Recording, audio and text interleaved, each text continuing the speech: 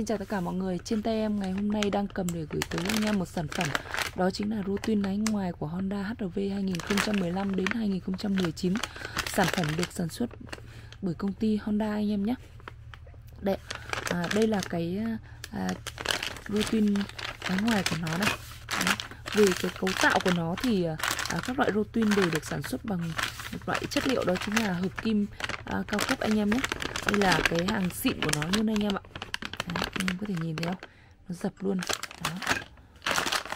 Thì à, vừa rồi em có vừa cầm trên tay để giới thiệu tới anh em cái sản phẩm đó chính là cái đôi tuyên lái ngoài của con Honda HRV cảm ơn mọi người đã cùng bước chút thời gian xem video của em.